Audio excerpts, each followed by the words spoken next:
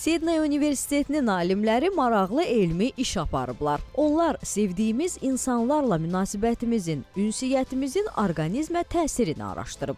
Medisina xəbər verir ki, sevgi hissindən oksitosin adlı xoşbəxtlik hormonu hasil olur. Bu hormon ana ilə uşaq arasında da olur. Oksitosin siqaret, alkoqol və stress asıllığına qarşı ən yaxşı vasitədir. Bu hormon çatışmayan insanlarda psixoloji problemlər olur, eləcə də piylənmə və xroniki xəstəliklərə səbəb olur.